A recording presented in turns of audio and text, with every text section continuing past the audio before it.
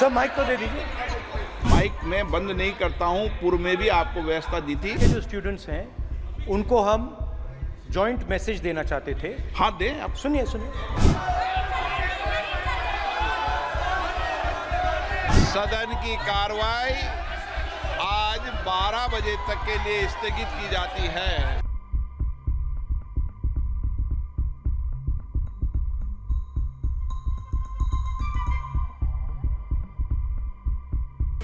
Item number तीन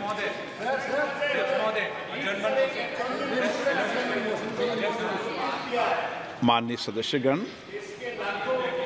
मैंने पूर्व में भी आपको अवगत कराया है एडजोर्नमेंट मोशन और शून्यकाल राष्ट्रपति अभिभाषण के समय नहीं चलेंगे, ये बुलेटिन में बताया गया था और पहले भी आपको अवगत कर सकते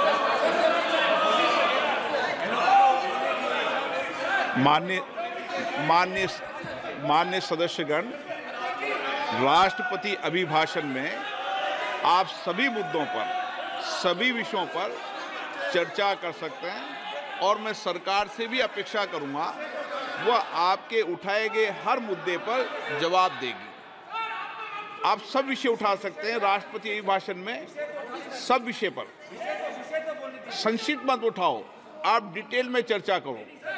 आपके पास पर्याप्त समय नहीं। एक व्यवस्था दे दी है, नहीं। सभा पटल पर रखे जाने वाले पत्र राष्ट्रपति अभिभाषण पर माननीय प्रतिपक्ष के नेता, मेरा विषय है कि आपको दोनों आप जितना आपकी पार्टी का समय आप पूरा भी ले सकते हैं, मुझे कोई आपत्ति नहीं। आप डिटेल में बोलना। लेकिन एडजस्टमेंट मोशन पर और अन्य विषयों पर पहले ही व्यवस्था दे चुके हैं।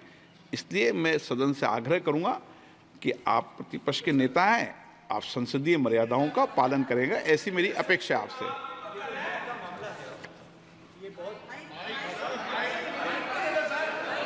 माइक मैं बंद नहीं करता हूँ पूर्व में भी आपको व्यवस्था दी थी यहाँ कोई बटन नहीं होता। सर माइक तो दे दीजिए।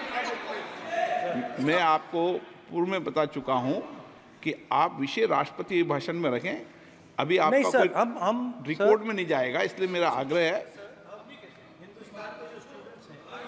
उनको हिंदुस्तान के जो स्टूडेंट्स हैं उनको हम जॉइंट मैसेज देना चाहते थे। हाँ दें आप। सुनिए सुनिए। जॉइंट मैसेज देना चाहते थे ऑपोजिशन और सरकार के साइड से कि इस मुद्दे को हम ज़रूरी मानते हैं।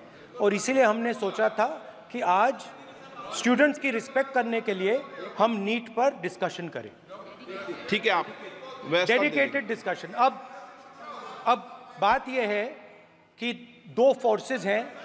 एक है। तरफ़ नहीं माने ओके।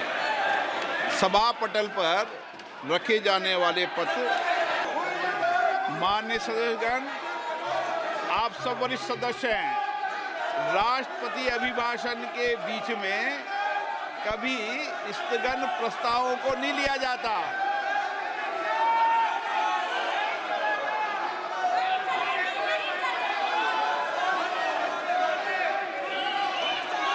सदन की कार्रवाई आज 12 बजे तक के लिए स्थगित की जाती है।